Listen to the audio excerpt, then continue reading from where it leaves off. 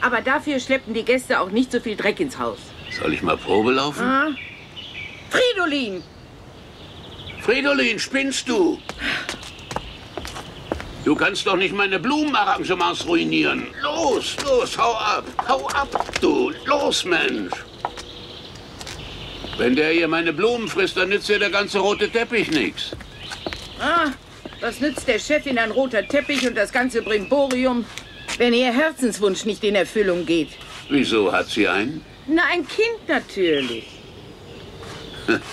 Die will noch ein Kind? Felix, du bist ein alter Quatschkopf. Ein Enkelkind natürlich.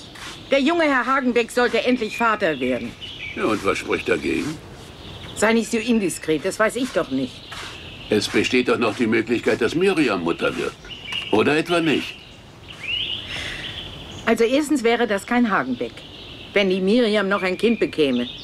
Und zweitens glaube ich nicht, dass Frau Hagenbeck glücklich darüber wäre, so wie die Dinge liegen. Kommt sie heute überhaupt, die Miriam? Hm?